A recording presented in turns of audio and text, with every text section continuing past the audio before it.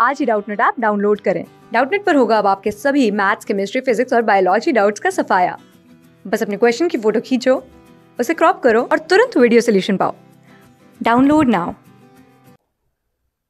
If T1 and T2 are the temperatures of heat source and sink respectively, the efficiency of heat engine may be expressed as देखो बच्चों ये simple सा question है। Engine की efficiency पूछी गई है आपको। जैसे आप सपोज़ करो आपके पास ये कोई एक इंजन है है ना? इसको मैंने बोल दिया हीट इंजन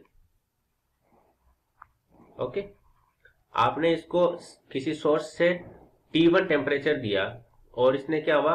कुछ वर्क किया और फाइनली इसका टेम्परेचर हो गया T2 ठीक है? कुछ टाइम के बाद ठीक है? अब एफिशिएंसी पूछिए। एफिशिएंसी क्या होती है? कि इसने कितना वर्क किया?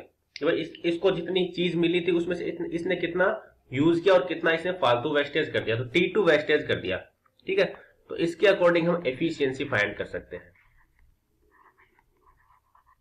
Efficiency will be equal to आएगा हमारे पास अब one minus T two by T one one minus T two by T one ये रहेगा।